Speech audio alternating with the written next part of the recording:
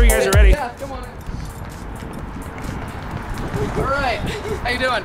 All right, it's uh, it's October. It's a little chilly out, and uh, this time of year, you're gonna see a lot of uh, videos out there where people are using pumpkins for exercise. We've done it ourselves a few times, and uh, I thought, well, what, with Kathy over here, why don't we uh, do a quick little demo of certain exercises that you can do with pumpkins. Usually people use them for medicine balls.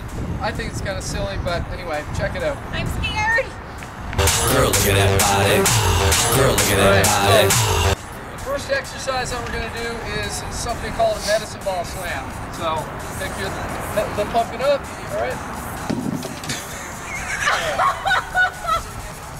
no, nobody works out with pumpkins anyway. Seeing, I know it. Check us out for our next boot camp where we're not going to be working out with pumpkins. I'm sexy and I know it.